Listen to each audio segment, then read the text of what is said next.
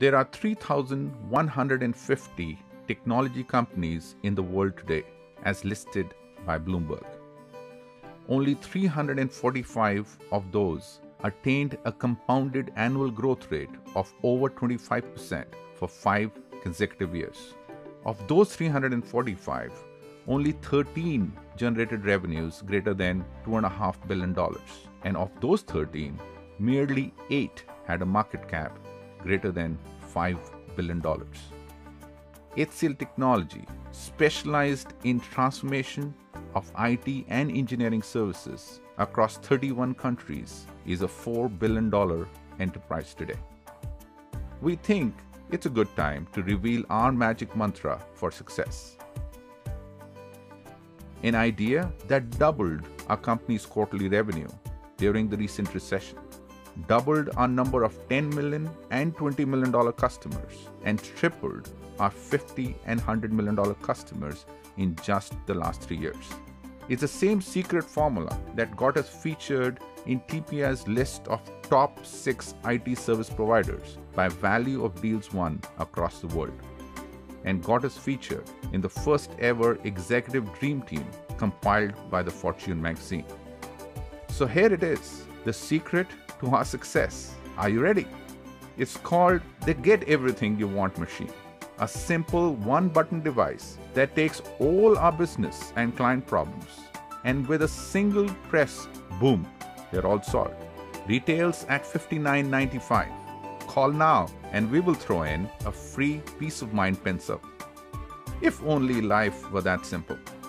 Although it seems a little absurd, maybe it can be. Because our secret problem solver is more powerful than any machine. It's the idea that when you channel the energy of 80,000 employees across 31 countries into one funnel, you can very well solve any problem. It's called Employees First, Customers Second, and it's behind everything we do. Imagine you are on a ledge of a building which is three story high. Imagine that building is on fire. You have two choices stay or jump. Assuming that you have data, analytics, advisor, whatever it is, you know the right answer is to jump. How long will you take to convert the thought to jump? Five seconds, 30 seconds, two minutes. Let's make the story a bit more complicated. Let's assume that you are standing on a ledge of a building which is three floor high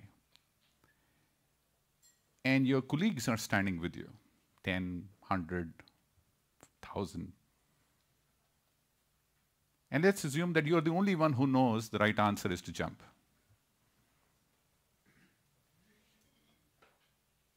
What would your colleagues do? Would they jump because you say that's right answer? Would they stay because you say jump?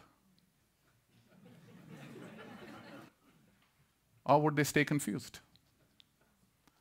The reason I'm asking that question is it defines organization effectiveness and ineffectiveness. It's never the idea, it's the execution. I have always wondered Gandhi when he landed in India. Did he have the idea of how he will get independence for India? Did he know what non-violence potentially could do? Yeah.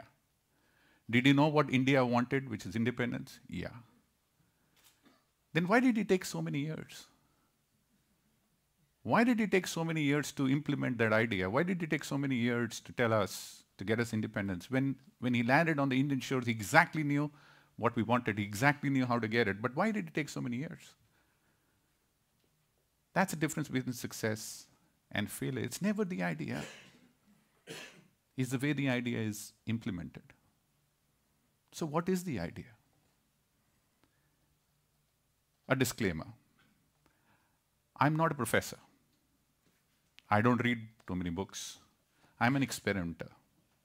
I'm the guy who asks a lot of questions. I was fortunately part of an experiment which worked, an experiment which led to a growth of revenues, market cap, profitability by 600% in the peak of recession. So this story is about how did it happen. In hindsight, it looks very beautiful. In foresight, it was very troublesome. so I found myself standing on a ledge of a building in 2005. HCL Technologies, an IT services company, was losing mind share, market share, talent share. Everybody in the world, including the aunts and uncles and grandmothers and grandfathers, knew about it, other than the 30,000 people who were inside the company. Inside the company, we were trapped in our past. In 1962, we were number one. In 1972, we were the first in the world. We were slicing and dicing the data to somehow appear number one. Now, forget about the background in which I found myself in that position because the chairman asked me to come and lead the company, and I didn't want to because I was one of the startup guys.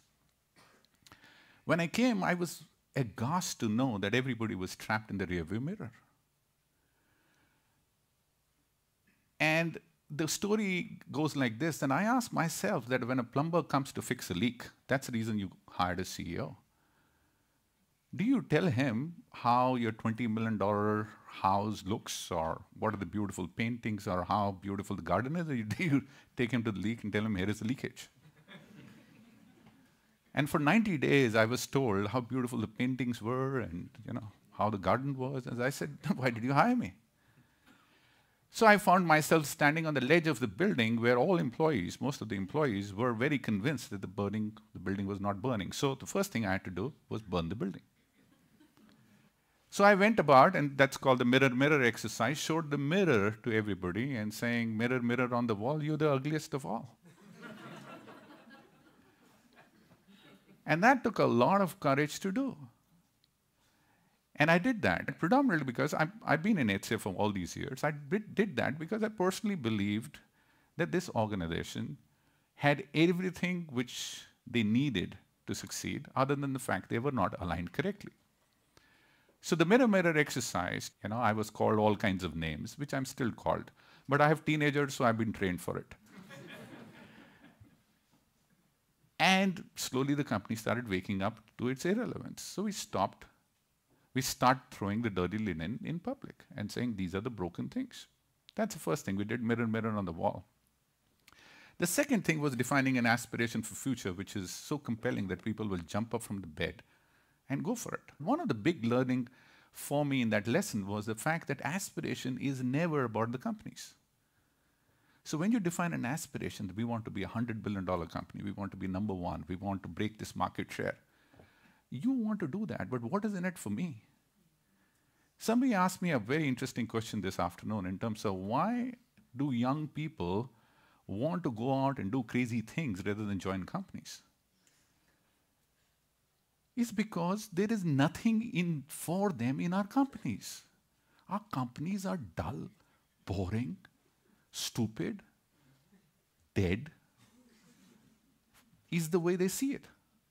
If that's the way the employees see it, and you define a vision that will be number one in 10 years or will be $40 billion, so the vision which we define, let, let, let me take a minute to define. The vision I defined is by this question. I asked the 30,000 employees, and I used to meet them 5,000 at a time, is when somebody asks you, where do you work? What is your answer? And I give you three choices. Choice one,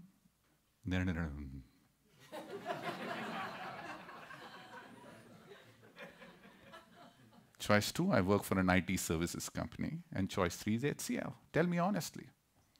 90% of them did.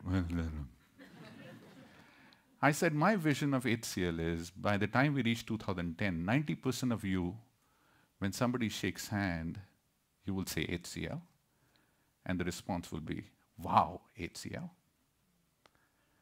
The reason I defined the vision, and that time people called me stupid, weak, weak leader, without ideas, you know, all that stuff.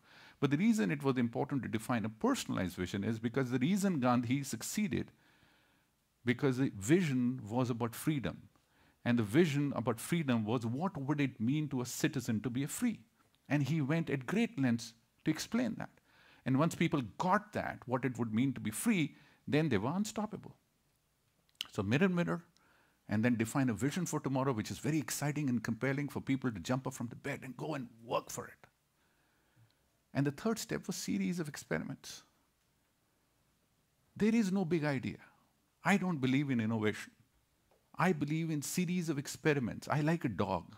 When a dog has to search for a thief, what does he do? He smells the first step, then the next step, then the next step, then the next step. That's what innovation is all about. Series of experiments. Take a step at a time. Big, bold steps, but step at a time. And therefore, we did series of experiments to transform HCL. But before we go there, we asked ourselves a fundamental question on innovation, which is very interesting. So when you are on a burning platform and you have the company which is ready to transform, transform means change the form. So when you change the form, you must understand it is an irreversible process and it's a painful process. So you should be very clear that you want to change the form. So when you change, want to change the form, you have two choices to innovate on the what axis in terms of what you do, products, services, markets, pricing, proposition, positioning, or how you do it. So there is an interesting axis on culture. And the question I asked is, was there an opportunity for us to create a competitive advantage on the how axis, not on the what axis? Because the how axis was not occupied, and it could be created a competitive advantage because nobody was thinking about how access. Can culture be a competitive advantage? When I looked at the Japanese car makers in the 80s, they took on the US car makers not on the what cars they manufactured, but how they manufactured. In IT services, can that be done? So we asked ourselves the fundamental questions. First, what is the core business we are in? Second, how do we get to grow faster than our competition? Differentiated value, proposition for the customer, to customer to see us uniquely different compared to our competition. Clear. Third question, where does this competitive differentiator get created? Where is this competitive differentiation? In services economy, it is in the, in the interface of our employees and our customers. Let's call that the value zone. The zone where our employees touch the customer employees. So, so far we concluded to grow faster than our competition, we have to differentiate in innovation, and that innovation is an experience we deliver where all technologies come together to solve business problem in the interface of our customers and our employees. Okay, that was easy. Fourth question. So if our employees are the differentiation which we are delivering to our customers, or the employees are the source of differentiation we're delivering to our customers, what should the business of managers and management be? And the answer was obvious to enthuse, encourage, enable those employees to create the differentiated value so that the company can grow faster. Hence, employees first, customer second. Now, that was still easy. So, we had taken a decision to innovate on the how axis, and we have come to a conclusion that this is a logical way to grow faster than our competition, which we do. We, we outgrew our competition 1 is to 2 during that period. But the question is, how do you implement it? How do you make this possible? So we went through a four-step process. Now, these four steps are hindsight processes. This is not the way it happened in foresight. Foresight, for every good thing I say, there were 100 mistakes. so the first step there was creating trust. How do you create trust? Nobody trusted the management. Everything which I said was taken with a pinch of salt. So I said we will push the envelope of transparency to such an extent that it will shake the confidence of the employee that the management can do that and there is no option the employees will have to trust the management. So all the dirt of the company, I put it on a digital platform and shared with the company. This is broken, this is broken, this is broken, this is broken. And the reason I did that, number one, there was no gossip in the company anymore because everybody knew what's broken. Number two, my belief was if you know what is broken, somebody will fix it because I can't. so that was creating trust through transparency, and there was a series of experiments which we did to create trust. The second was make the enabling functions enable. Long ago, God created enabling functions because God created fear. So we were afraid that employees are going to run away with money, so we created finance, HR, you know, quality control, all kinds of enabling functions, and suddenly the enabling functions don't enable anymore. They control. And I don't have a problem with control because that's the way the society has moved. But I have a problem with the fact that the, are you enabling or not? So again, we brought an innovation on opening trouble tickets. So any employee can open a trouble ticket on HR, on finance, on quality, on anybody, and they have to solve the problem in a certain period of time. But the innovation we brought in there, which was very interesting, is that I don't want the tickets to be there in the first instance. So I want you to get me a zero day ticket. That means a day where there's no ticket. In the first week when we launched this, there were 70,000 tickets opened. and all my colleagues celebrated. We had a party. I was there. We celebrated that we have captured 70,000 tickets till one girl, 23 years old, told me, Vineet, you are stupid. And I said, I know, but tell me why. He says, In no other organization, a CEO celebrates 70,000 tickets. So anyway, we started celebrating zero tickets. So that was the second.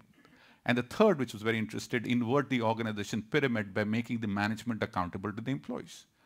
In 2005, 90 days after my taking over, I, I asked those 30,000 employees to do my appraisal electronically, confidentially, with identity not disclosed. And the results of that was published for the employees to see. And I said, if my scores go below certain thing, I'm gone.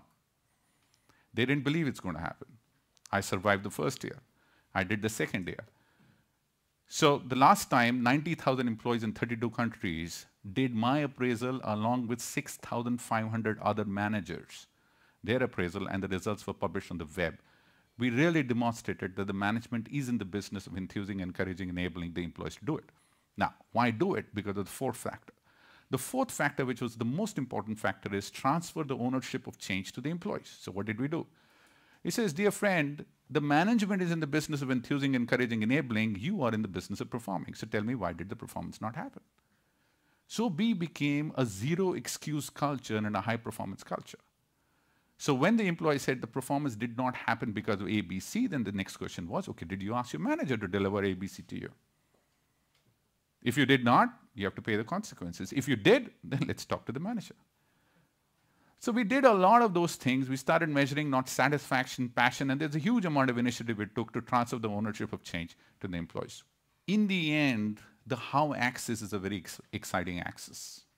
Even if you innovate on the what axis like Gandhi did, unless you understand how to effectively execute on the how axis, the higher chances of failure are pretty, pretty stark. And the only way you can do it is to think about your teenagers at home. Right? The way you grew up was command and control. Most of the time your parents said something, you would do it. If you try and do that to teenagers today, you know what will happen to you.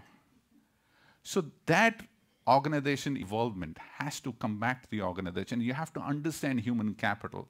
And only by understanding human capital, you'll get the best out of them. But the journey isn't over. Employees First is a living concept that continues to evolve. While Employees First 1.0 was management driven, employee embraced, a contemporary version is emerging today. Employees First 2.0, which is employee driven, management embraced. Manifestations of this are evident in initiatives throughout the company. MadJam is an internal crowdsource initiative for frontline employees that enable micro innovations to gather greater momentum and become employee led business lines. Over 43,000 employees participated in voting on 647 innovative ideas. Meme is our in house social and professional networking platform created by Gen Y employees. Meme was an overnight success, cutting across age, location, function barriers. It has today more than 70,000 members. Meme is a vital hub for ideas, collaboration, and company wide communication. Channel the energy of tens of thousands of employees into a funnel, and you get a powerful fuel that sends your company's engine racing. It's the belief that employees who are passionate about their work and empowered to succeed can offer better value to individuals, to corporations, and to society. And above all else, it's an effort to put the human back in business. Call it the Employees First Effect.